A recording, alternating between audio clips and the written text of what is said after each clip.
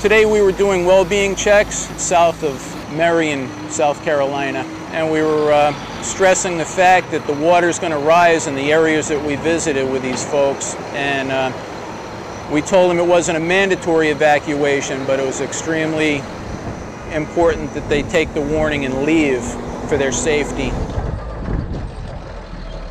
How you doing? Oh, thanks the Lord to be here. We're just checking in on everybody. How are you?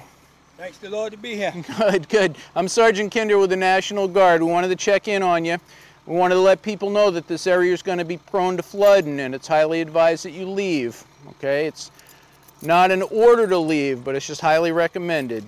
Don't feel bad as soon as I finish throwing my truck up stuff. I'm to get out of here right now. You're the man. You, you good? You need water or anything? No, I, I got plenty of water. Okay, you take care. All right. All right, thank you.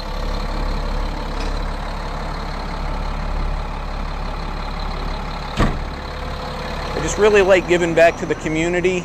Uh, a lot of these older folks out there, you know, they really don't have anybody. And I think when the National Guard or somebody shows up, shows an interest in them and, you know, offers a, a well-being check, offers them water and lets them know the weather situation with the, the rising uh, river, I think they feel valued. And to me, that makes me feel good. All right, you take care, all right? Yes, sir.